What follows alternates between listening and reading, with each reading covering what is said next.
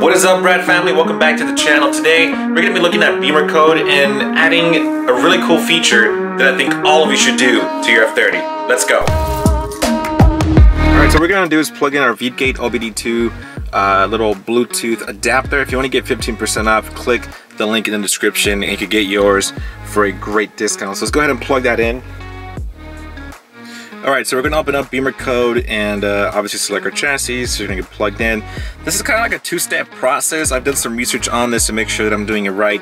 Um, you're gonna have to go into the front electronic module, then also the rear electronic module. So it's a two-step process and just a heads up, we are gonna go into expert mode, but don't worry. And I've done some research to make sure that I got the exact codes. That way this feature add-on works. All right, so what is brake force display? Brake force display is when you hit on the brakes really hard, brake force, it activates your taillights to blink, allowing the person behind you to let them know that you're about to hit the brakes really hard. So what we're gonna do here is code it so where no matter how much pressure you put on the brakes, those lights will blink. It's a pretty cool feature and honestly it just it just looks really dope. So let's let's do it. So what we're gonna do here is go into the front electronic module um, and that's where you're gonna be doing the first part of the coding. So I'm gonna wait for this to load. Okay, so the front electronic module loaded. What we're gonna be looking for is brake force display. And what we're gonna do is put that to flashing, hit okay. And on the brake force display, leave it at five miles per hour or kilometers. I mean, you know, that's I wanted to be at the weakest point as far as speed and also on the force, we're gonna leave it at 5M. That way Again, it's as sensitive as possible so my tail lights do um, you know, flash when I brake. So let's go ahead and do that and code it. This is the first step of the process. We're gonna code it. Your ECU will restart and uh, get that part coated in. All right, awesome. So we did that already. So now we're gonna go back. We're gonna go into the rear electronic module, which is part two of this code. And we're gonna tap into a few things in here. Now again, if you got some error codes popping up like your chassis or whatever have you, Bimmercode will clear it out. It's just part of the restarting process of your ECUs. Just a pro tip, what I like to do is put my seatbelt on while I'm on auxiliary mode. That way my car doesn't just turn off automatically. Alright, my camera just shut off because it was too hot outside. So real quick, what we're gonna do now is go into the rear electronic module, which we just did, and we're gonna look for brake force uh, frequency. So what we're gonna do is, um, not that one, brake force display frequency, leave that at three times. So we're gonna tap on expert mode. And what we're gonna be looking for is a specific thing. It's titled uh, 3062 LCE lamp mapping. Uh, so let's go ahead and look for that. It's right here, 3062 LCE lamp mapping uh, 1 tap on that. And we're gonna be looking for is mapping brake force um, L, which is for the left side. So let's look for that. It's gonna be an output. So mapping brake force. Where are you? Here we go. So mapping brake force L output. Yeah.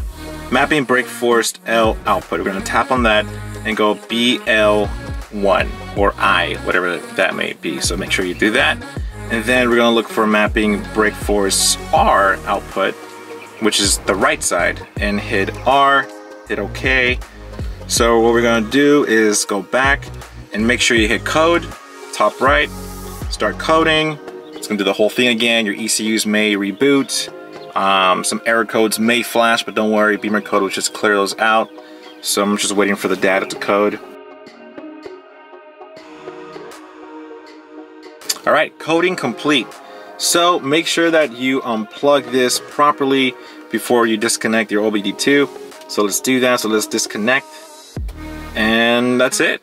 So we officially got brake force display coded into our car. So no matter what I do, as far as how hard I hit the brakes, those brake tail lights should be flashing just giving a cool look on your F30 overall. So thank you so much for watching. I hope that this uh, helped you out in any way.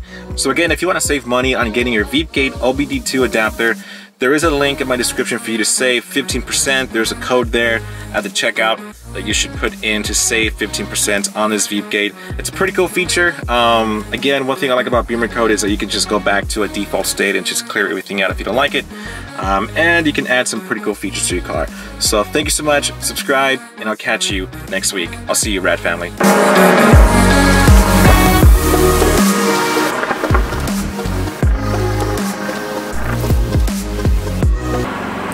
Right, so real quick, um, forgive me that I'm all sweaty, I just came out of a workout, but I wanted to do another update real quick as an add-on to this video. I've been going to the forums and I've noticed that a lot of people can't get this brake force display to work on their F30s. If it doesn't work on your end, default everything back. Code everything and revert it, restore it back to how it was, and go into the rear electronic module, change brake force to Bremslichter, don't know what that means, but I believe in German that's brake lights. Do that and then change the brake force display frequency to 3 or 5 and then what you want to do is go to the front electric module the front electric module takes forever to load. Not sure why, maybe because there's so much going on in there. I'm not sure. Alright, it's loaded. So what you want to do is go to brake force display, change the brake force display type to flashing, brake force display activation speed to 5, and make sure it's on weak braking for brake force display activation brake force. That way it's sensitive no matter how hard you press on the brakes. And guys, that's that's pretty much it. So if it didn't work the first time as I initially explained, try this route and it should work. So I tried both methods on my F30 and it worked out great. I actually changed the flashing from 3 to 5 because I just like the way it looks when it flashes 5 times per second. So um, yeah, I hope that helped. If you have any questions at all, leave a comment below and I would love to walk you through it. Um, I'm very active in the comments, that's where I live. So again, thank you so much for watching. Make sure you subscribe and I'll catch you soon. See you later fam.